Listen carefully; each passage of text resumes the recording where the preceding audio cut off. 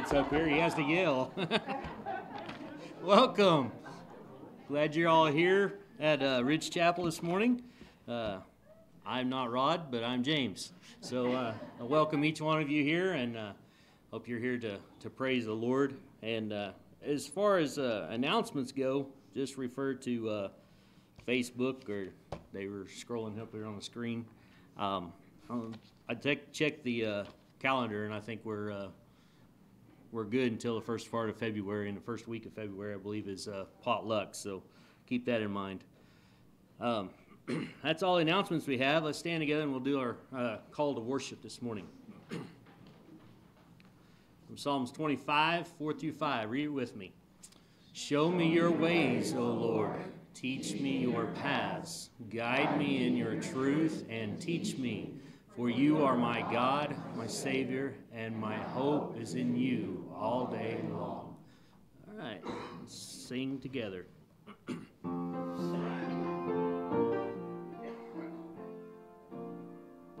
Unto thee, O Lord, do lift up my soul. Unto thee, O Lord, do I lift up my soul.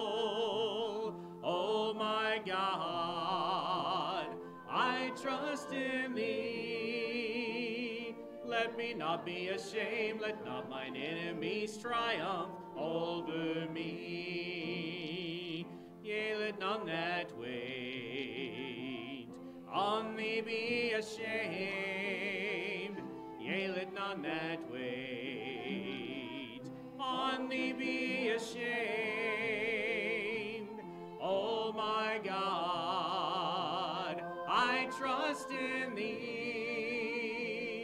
Let me not be ashamed, let not mine enemies triumph over me. Show me thy ways, thy ways, O Lord. Teach me thy paths, thy paths, O Lord. O my God, I trust in thee. Let me not be ashamed, let not mine enemies triumph over me. Remember not the sins of my youth. Remember not the sins of my youth. Oh my God, I trust in thee. Me not be ashamed, let not mine enemies triumph over me. Very good. Y'all may be seated. Psalm before the Lord's Supper meditation this morning is going to be Lead Me to Calvary.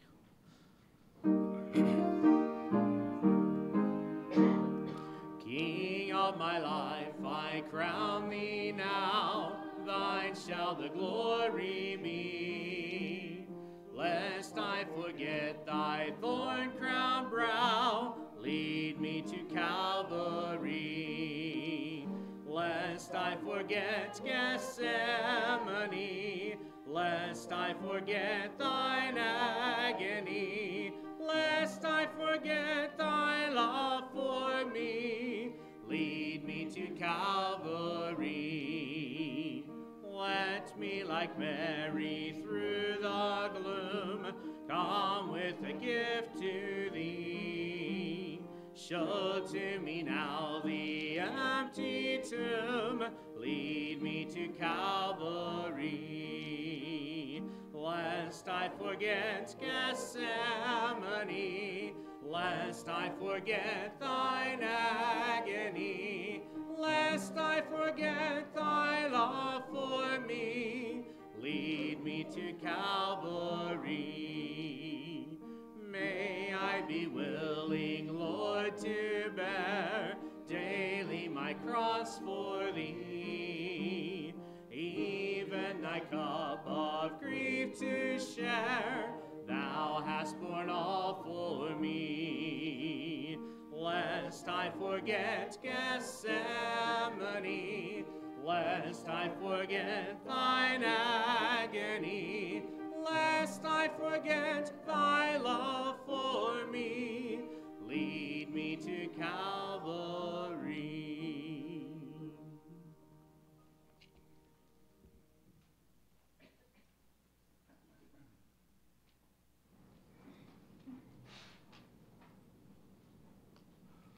Morning.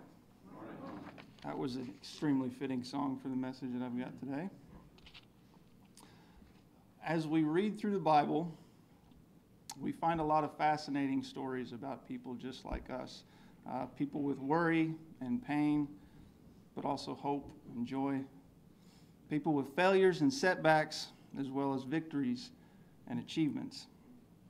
Take Joseph, for instance, betrayed by his brothers and sold into slavery. I can't imagine the pain he must have felt. Yet his integrity and his confidence in God were unwavering. Therefore, what others meant for evil, God used for good. And through him, God saved many people from starvation, including his brothers. Moses is another one, unsure of himself and hot tempered at times. Moses had the tremendous task of being God's messenger to a hard hearted Pharaoh, pleading with him to let God's people go. And through diligence and faithfulness, the great exodus took place, and God was able to save his people. How about Jonah? Very reluctant and opinionated. There was no doubt that he was very much against going to Nineveh. He downright hated them. But even though Jonah tried to run away from God's calling, eventually he gave in and he submitted to God's will. And because of that, an entire city repented and was spared. Each of us has a story to tell, whether it be how God saved us or how he used us to save others. But if we humble ourselves and really look at the stories, we realize something very interesting. That is, that we aren't the point of the story, Jesus is. When we make the decision to follow Christ, we stop living for ourselves, and instead, we live so that others may be saved. In Matthew 16, verse 25, Jesus says this Whoever wishes to save his life will lose it, but whoever loses his life for my sake will find it. That's what these three men did. They chose to lay down their lives in service to God. And in doing so, God was able to use them as a vessel to save his people. That's the purpose of our lives is to point others to Jesus so that they might be saved, to make his story known, not ours. Through his death, burial, and resurrection, we are saved from God's wrath and forgiven of our sins. It is this sacrifice from our Lord and Savior Jesus Christ that even allows us to have a working relationship with God. And as we partake of the bread, which represents his broken body, and the cup, which represents his shed blood, it is this sacrifice that we must never forget. It is the point of God's story, so let it be the point of ours. Let's take the bread.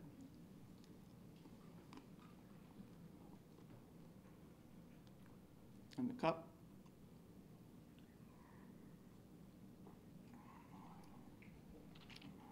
Let's pray. Dear Heavenly Father, we thank you. We thank you for sending your Son as a sacrifice for us to do what we could never do, to forgive us our sins, our transgressions, and to give us a relationship with you. May we point others to Jesus, to the saving grace that you offer, Lord. It is in Jesus' name that we pray. Amen.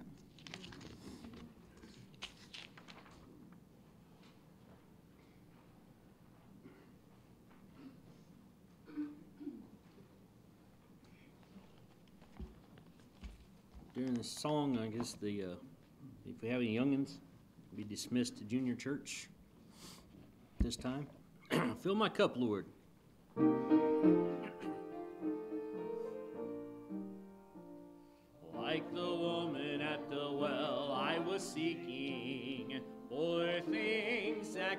Not satisfy. And then I heard my Savior speaking, Draw from my well that never shall run dry. Fill my cup, Lord, I lift it up, Lord. Come and quench this thirsting of my soul.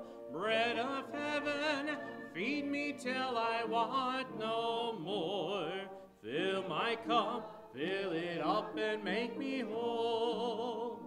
There are millions in this world who are craving the pleasures earthly things afford, but none can match the wondrous treasure that I find in Jesus Christ my Lord. Fill my cup, Lord, I lift it up, Lord.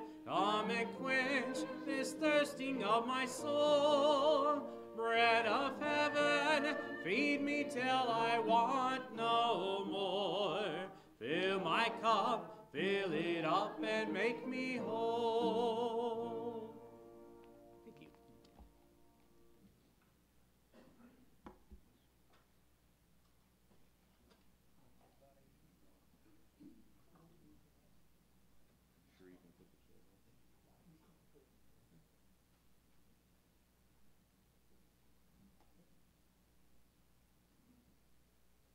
Okay, thank you.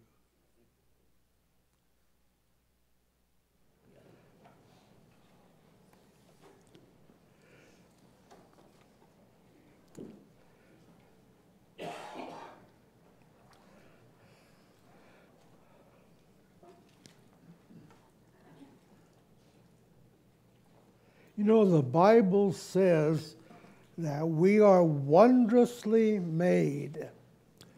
As I get older, the more and more I realize that. Uh, now,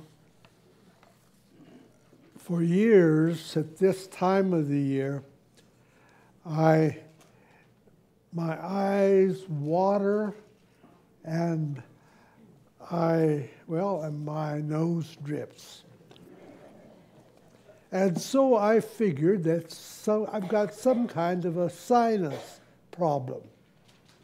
And each year I'd go and get shots or get medicine to take care of my sinus problem or my allergy problem. And then finally this year they decided no, that's not the problem at all.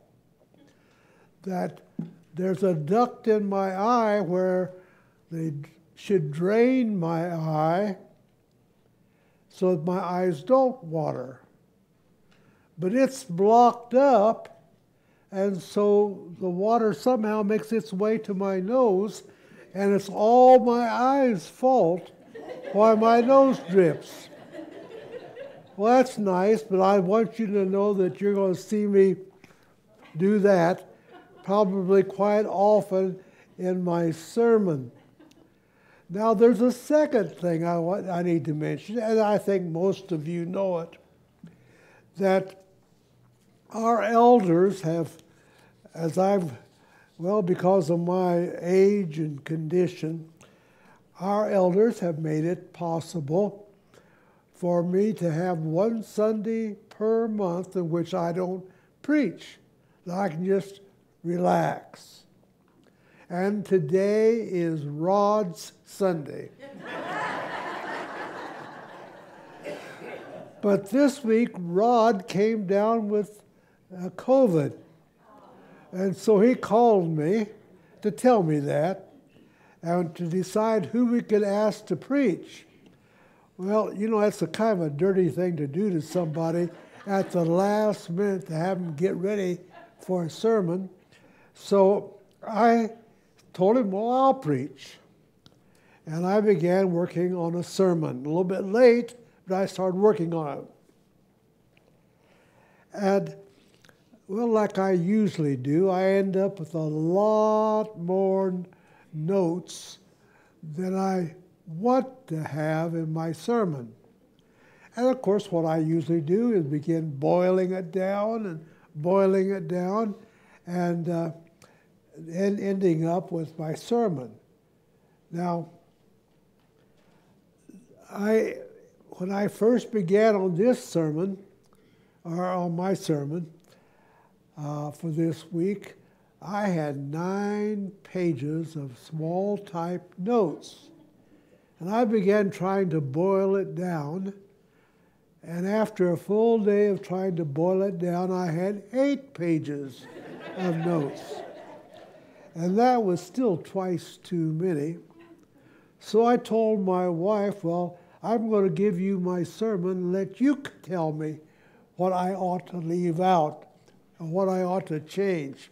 Now, I do that quite often, and she's good at it. But at the same time, I decide to see what some of my some preachers have to say about the same scripture, because I'm trying to tie in with our Sunday school lesson. Well, as I did, I came across a sermon by uh, Jeff Strite of Indiana uh, that I thought was a pretty good sermon. So I laid mine aside and began working on his. And I changed it and adapted it and cut it and added to it and, and uh, outlined it and then finally made PowerPoints for it. So this morning, if you appreciate this message, praise the Lord and thank Jeff Strite.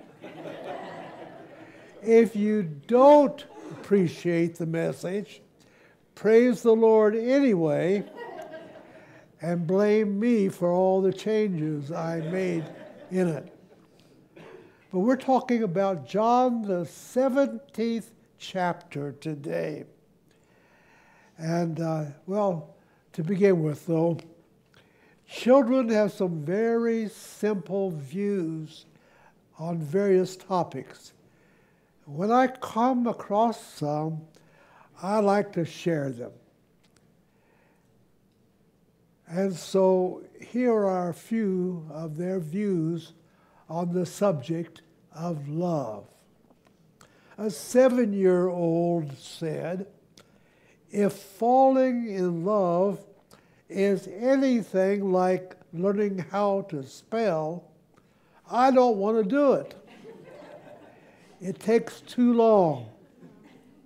A five year old boy said, Once I'm in kindergarten, I'm going to find me a wife. David, age eight, stated, Love will find you even if you are trying to hide from it. I've been trying to hide from it since I was five, but the girls keep finding me. A six year old, six and a half year old, observed, I think you're supposed to get shot with an arrow or something. but the rest of it, isn't supposed to be so painful. I think he watches too many comic strips. And finally, when someone loves you, the way they say your name is different. You know that your name is safe in their mouth. Now, I like that one. Today we are talking about love. And in this case, we're going to be talking about the love that Christ has for us as his church. In John, the 17th chapter, is the longest recorded prayer of Jesus. in any of the Gospels. And I don't sense that Jesus is praying like he's some kind of a religious leader. I sense that he's not praying just like I, I sense that he is praying just like a husband would pray for his wife and family that he loves. With a depth of emotion, he is praying for his, his apostles and for us. In Ephesians, the fifth chapter, the 26th verse, Paul tells husbands to love your wives just as Christ loved the church and gave himself up for her. Now, did you catch that? Christ loves the church. That's his bride. He gave himself up for her. It's a passionate and sacrificial love. So I picture Jesus pouring his whole heart into these words because this prayer is important. But what's so important about this prayer? Why would Jesus bother to pray to his Father about the things that he prays for here?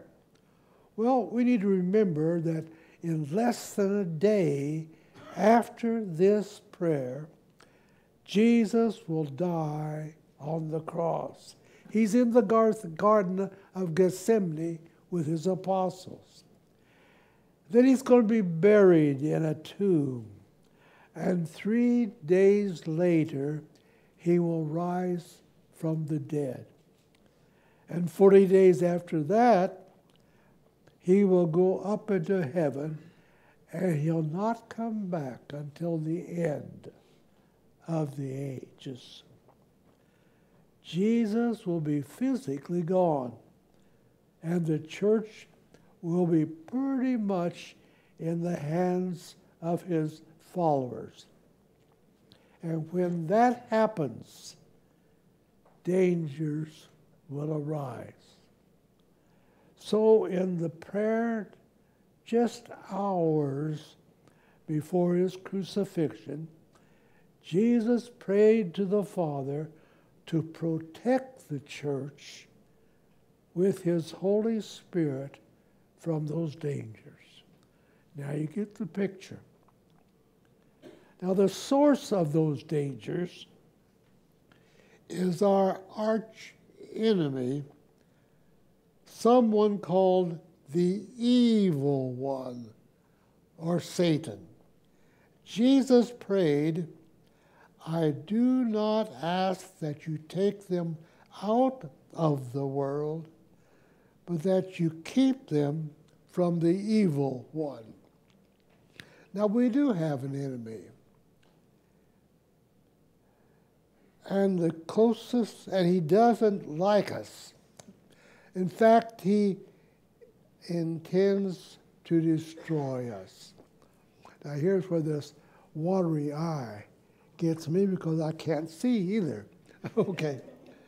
Uh, Revelation, the 12th chapter, the 17th verse says, The dragon, that's Satan, became furious with the woman, that's the church, and went off to make war on the rest of her offspring, in other words, the Christians, on those who keep the commandments of God and hold to the testimony of Jesus. Now, Satan's intention is to take us out. he hates God, and he hates God so much that it is his personal agenda to destroy us because we're precious to God. We're loved by Jesus. And Satan figures if he can take us out, he can hurt Jesus, and that would be his vengeance against God. Now, I want you to understand, boy, I'm really having a problem, excuse me. I want you to understand that Satan is real. But not everyone believes that. Several years ago, the New York Times reported a survey that asked Americans if they agreed to this statement. And the statement is Satan is not a living being, but just a symbol of evil. And two thirds of those who were questioned agreed with that statement. But Satan is not just a symbol of evil, he's quite real. And he is a powerful adversary. There's an old Chinese saying or proverb know your enemy. Now, know your enemy, know your enemy's tactics, and know his objectives.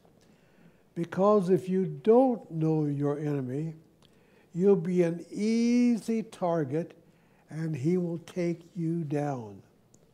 Now that's why Peter warned us be sober minded, be watchful.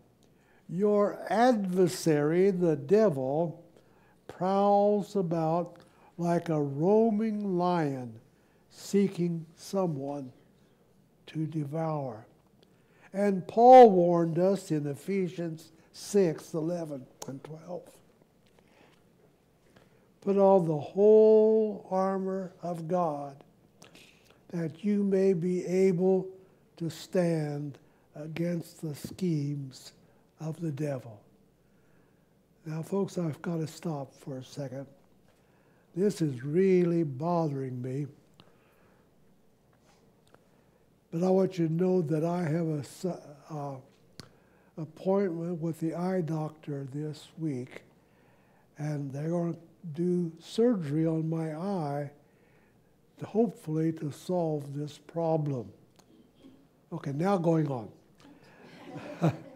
For we do not wrestle against flesh and blood, but against the rulers, against the authorities, against the cosmic powers over this present darkness, against the spiritual forces of evil in the heavenly places. So we need to remember that Satan is real and that he is powerful opponent. But here is the deal, and all this is wonderful.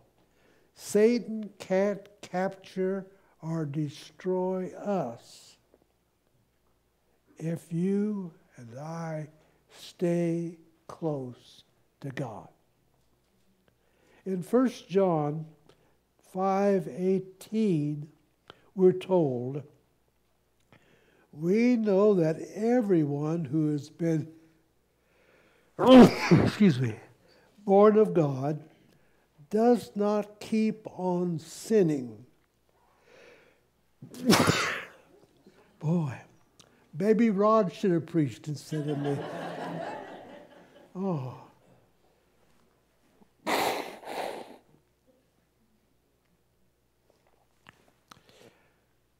me start over again with what what John wrote. He says, We know that everyone who has been born maybe Satan doesn't want me to read that scripture. okay. We know that everyone who has been born of God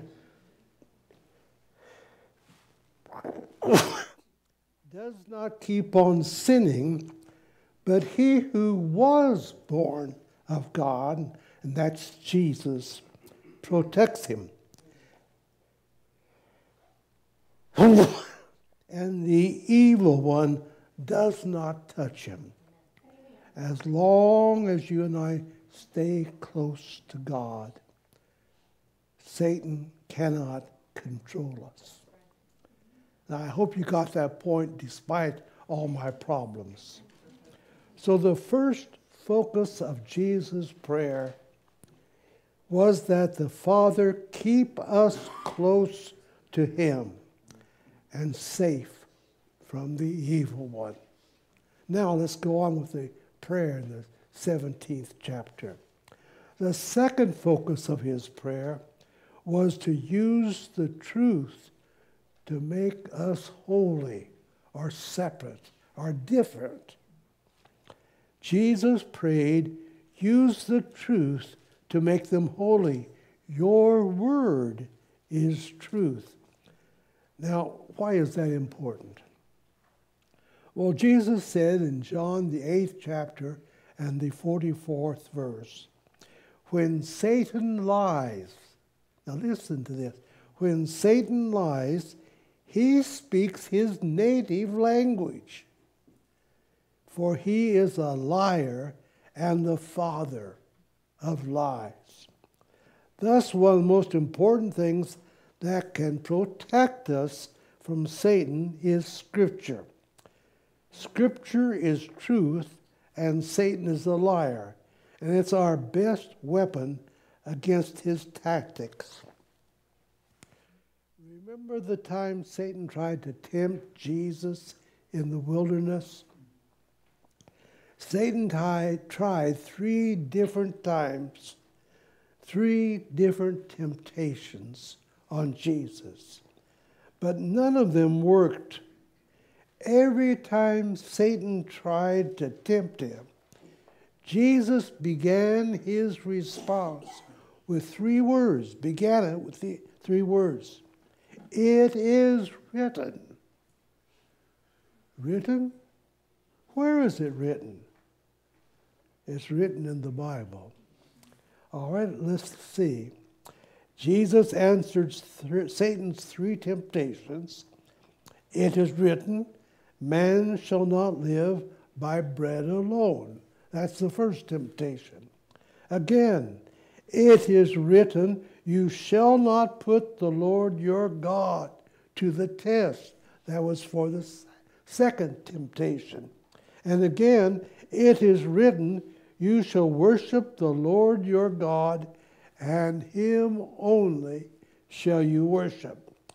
Satan wanted to get Jesus into a selfish debate, but Jesus wasn't going to go there.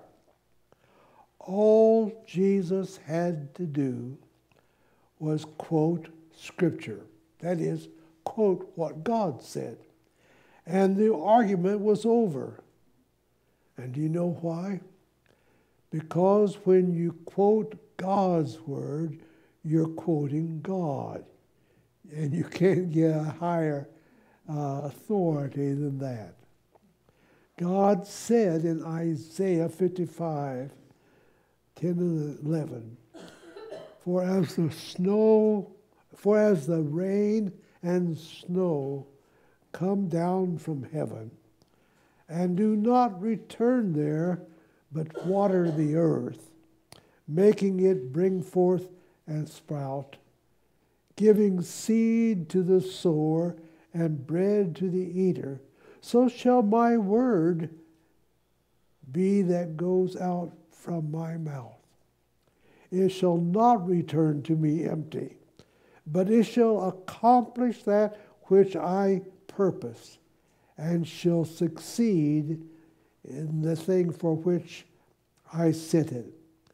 No matter how clever any man or woman may be or may have been throughout history, none of them have uttered words that have the power to do what God's word can do.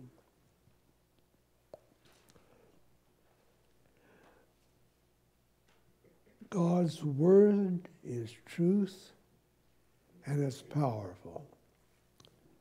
That's why Hebrews 4:12 tells us the word of God is living and active sharper than any two-edged sword, piercing to the division of the soul and spirit, of joints and marrow, and determining and discerning the thought and intentions of the heart. Now, boy,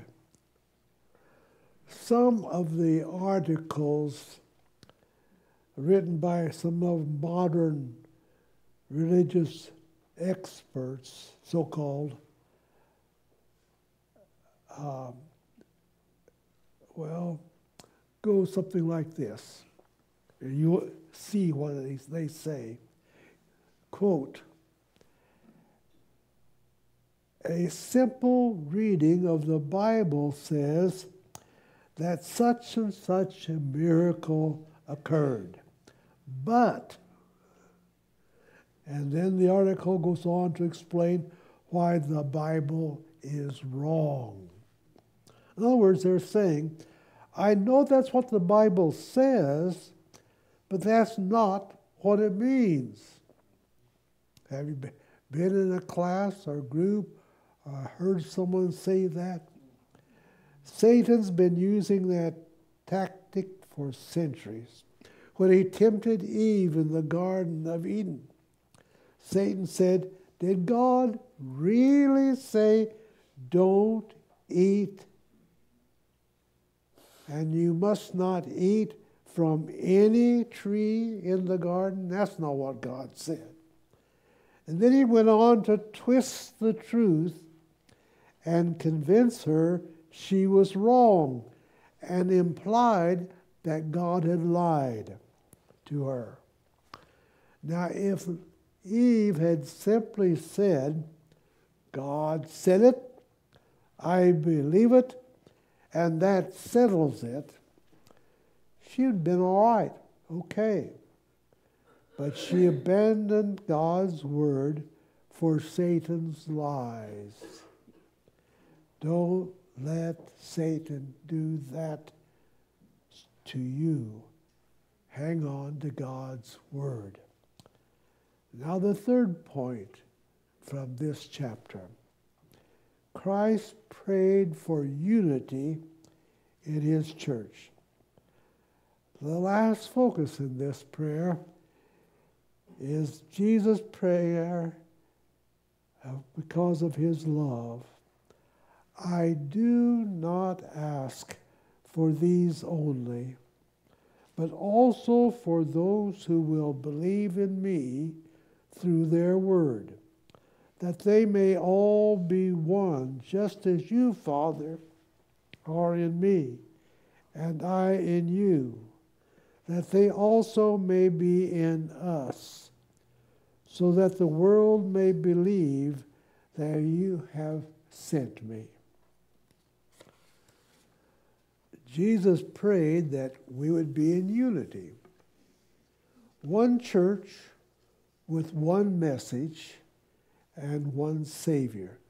Now, or as Ephesians 4, verses 5 and 6 says, one Lord, one faith, one baptism, one God and Father of all. One of Satan's objectives is to destroy our unity, to divide us, because he knows that a unified church is his worst nightmare. Satan knows that he can't do much damage to a church that's united.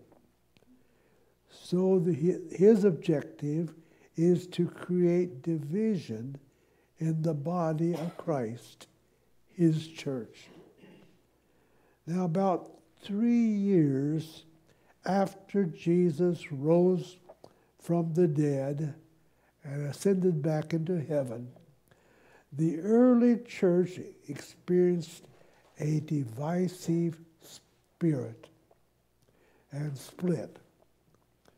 There was conflict over whether Gentiles, that's you and me, should be circumcised. That is, to follow Jewish customs to be saved. And even though God said circumcision was no longer required, a group of Jewish believers went about demanding their own way. And down through the ages, there have been repeated divisions in the church. Until now, in the U.S., there are over 250 different denominations. Well, actually, a whole lot more than that, but 250 recognized denominations. Now, I don't have much hope of unifying all those different denominations under the lordship of Christ.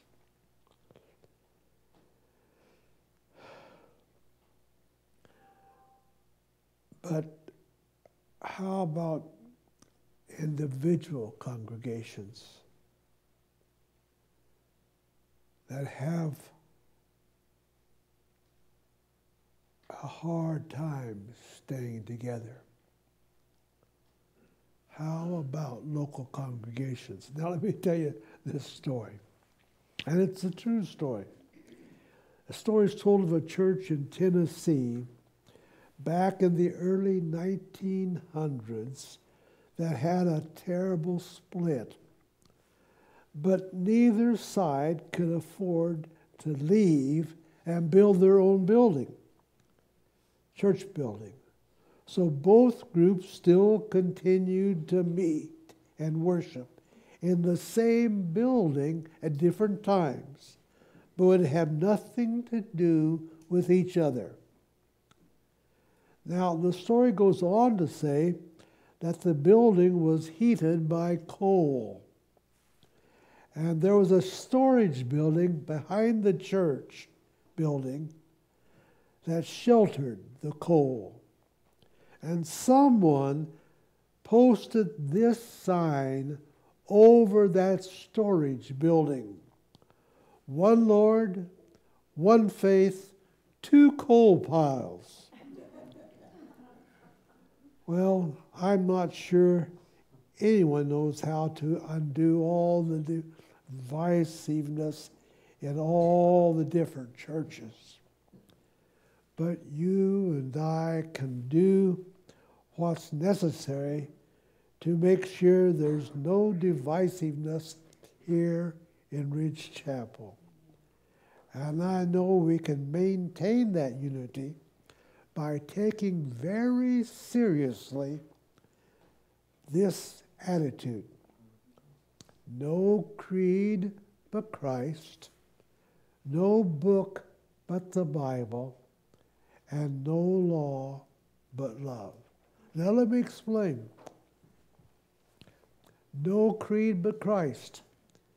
Our faith hinges on the fact that Jesus is Lord. He is our Lord. He bought us and owns us. This is not our church, not the elders, not the preachers, or it belongs to Him. And we, you and I, are responsible to Christ to make sure we do things here that honor Him. Secondly, no book but the Bible. We are unified behind the idea that where the Bible speaks, we speak. And where the Bible is silent, we're silent.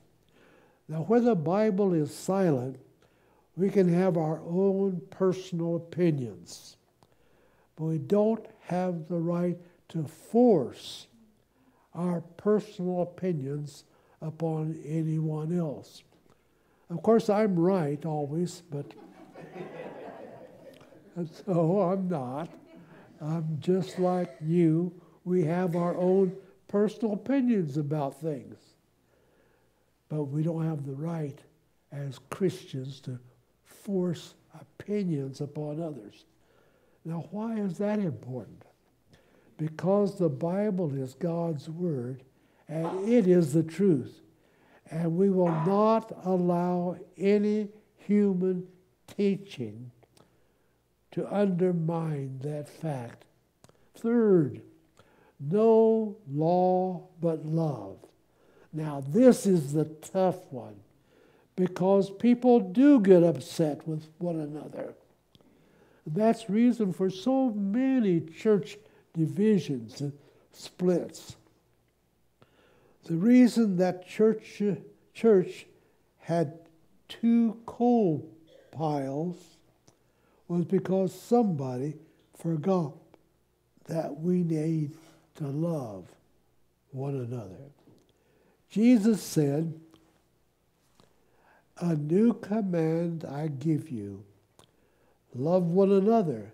As I have loved you, so you must love one another. And that's such an important command that it's repeated several times in the New Testament.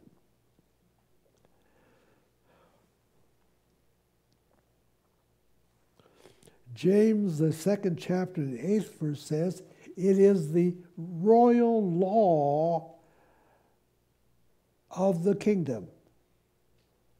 But what does that mean?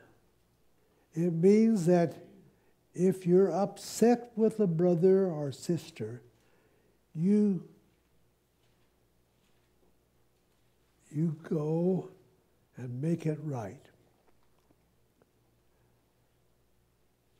Did you realize that most churches don't split over theology?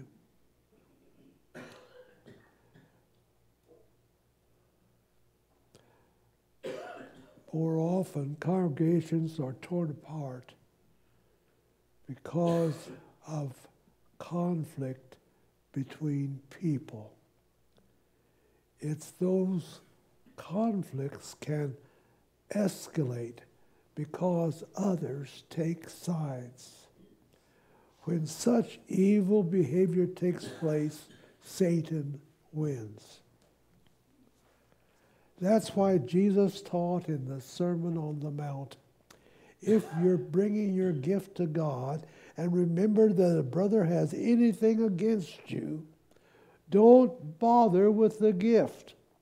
Leave the gift, go make things right with your brother. Then you can give to God.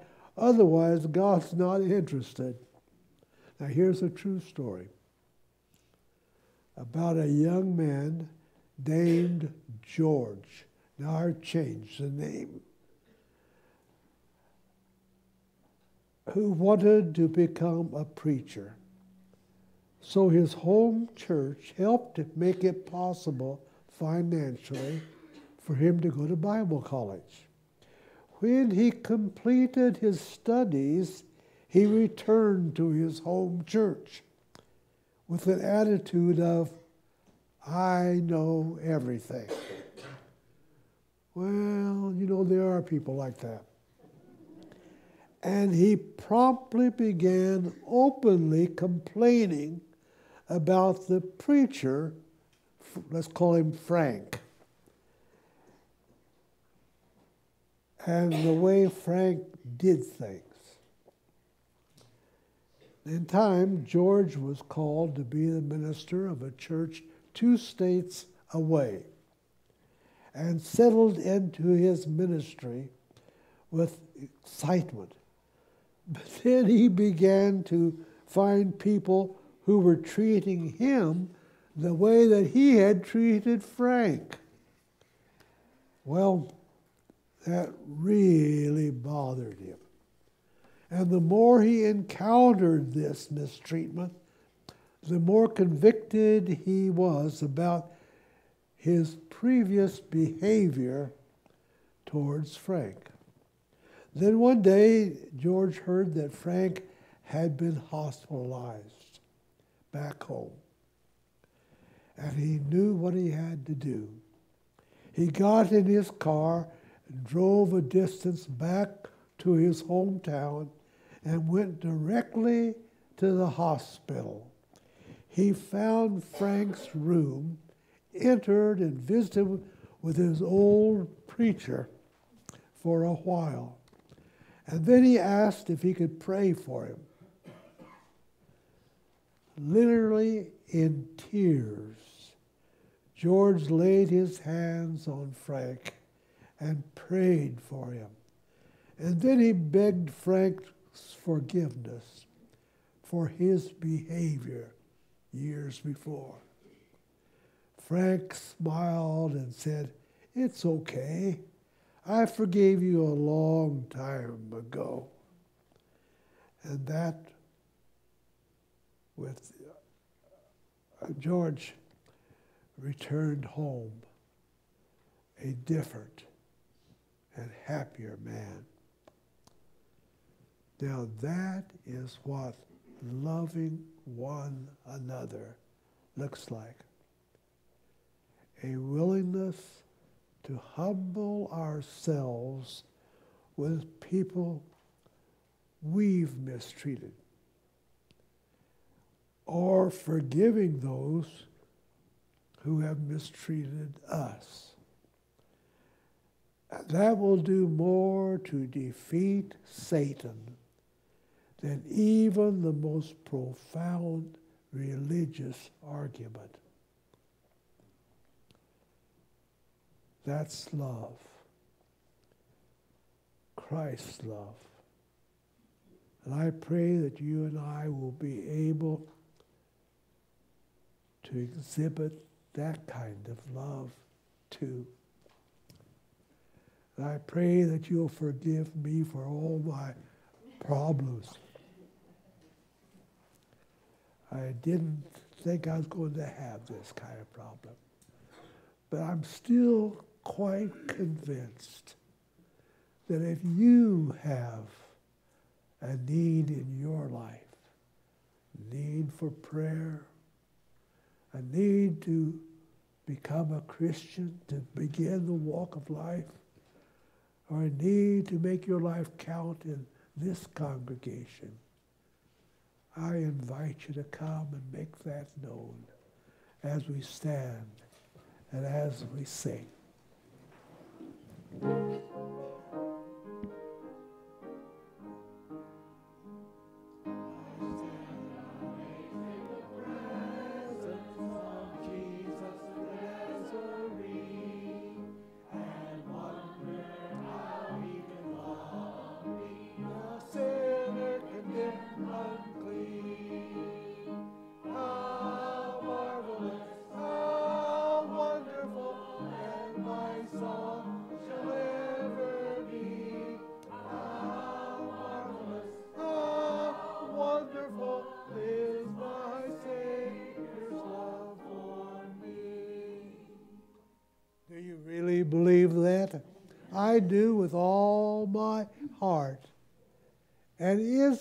Your Savior? Do you have a decision you need to make? We invite you to come as we sing this last verse.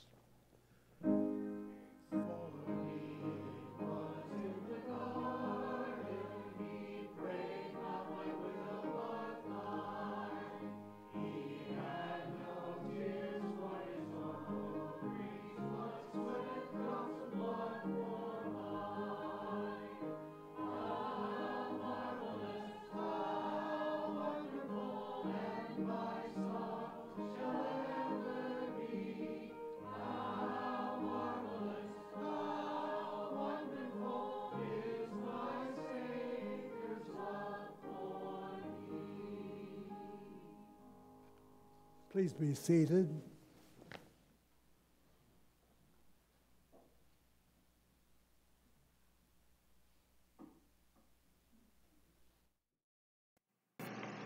This concludes today's worship service. Thank you for listening.